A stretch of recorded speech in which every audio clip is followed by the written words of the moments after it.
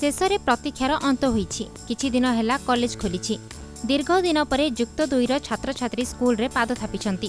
ତେବେ କରୋନା ମହାମାରୀ ସଂକ୍ରମଣ ଜନିତ ଭୟ କିନ୍ତୁ ଛାତ୍ରଛାତ୍ରୀଙ୍କ ମୁହଁରେ ସ୍ପଷ୍ଟ ବାରି ହୋଇପଡ଼ିଥିଲା ବୈପାରିଗୁଡ଼ାଠାରେ ଥିବା ଶହୀଦ ଲକ୍ଷ୍ମଣ ନାୟକ ଉଚ୍ଚ ମାଧ୍ୟମିକ ବିଦ୍ୟାଳୟରେ ପ୍ରାୟତଃ ପ୍ରତିଦିନ ଷାଠିଏରୁ ସତୁରି ଶତକଡ଼ା ଛାତ୍ରଛାତ୍ରୀ ଉପସ୍ଥିତ ରହୁଥିବା ଦେଖିବାକୁ ମିଳିଛି।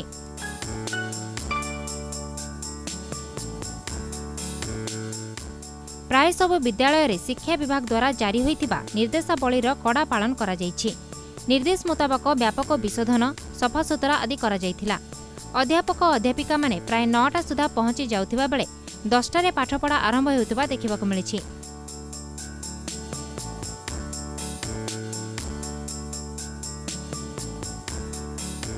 ସମସ୍ତ ଛାତ୍ରଛାତ୍ରୀଙ୍କୁ ହାତ ଧୋଇବାକୁ ନିର୍ଦ୍ଦେଶ ଦିଆଯିବା ସହ ମାସ୍କ ବ୍ୟବହାର ବାଧ୍ୟତାମୂଳକ କରାଯାଇଛି।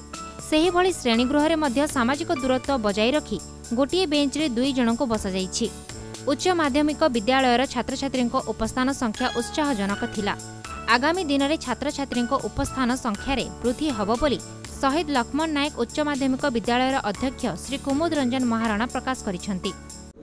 ଫାର୍ଷ୍ଟ ଇୟର ମାର୍ଚ୍ଚ ମାସ ପରେ ବନ୍ଦ ହୋଇଯାଇଥିଲା। ବର୍ତ୍ତମାନ ପୁଣି ଆଉଥରେ ବର୍ତ୍ତମାନ ସେମାନେ ସେକେଣ୍ଡ ଇୟରକୁ ଗଲେଣି। ବା ଶ୍ରେଣୀ ତାଙ୍କର ଦ୍ୱାଦଶ।